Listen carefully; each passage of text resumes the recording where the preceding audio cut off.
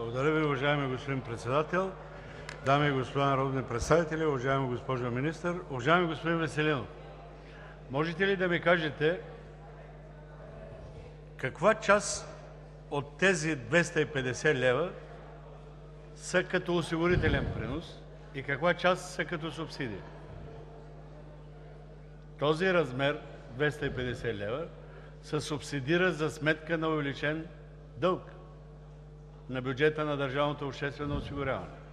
В момента – миналата година, трансферът от бюджета на държавата към бюджета на държавното обществено осигуряване за следващата година се увеличава с 200 милиона. С 200 милиона се увеличава! И част от увеличението на този трансфер е именно увеличаването на минималната пенсия за осигурителен стаж и възраст.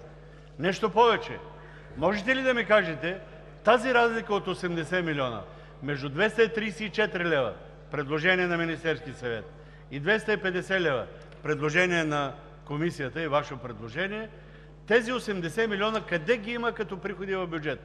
Има Закон за публичните финанси, в който ясно и категорично е казано, че не можем да приемаме предложения, които не са обвързани с приходи. Това е действащ текст от Закона за публичните финанси. Може ли Народното събрание да приеме един текст, по-нататък го има в предложенията, ще го видите, който текст казва нещо абсолютно иезуитско? Какво имам предвид?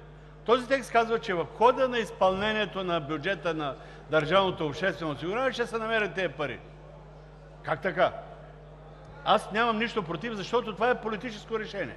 Това е решение на Вашето мнозинство – 250 лв. – 250 лв. Винаги минималният размер на пенсията и максималният размер са политическо решение. Решава го и така пише и в Закона за бюджета. Приключвам. Така че помислете по това. С това предложение нарушавате ли Закона за публичните финанси?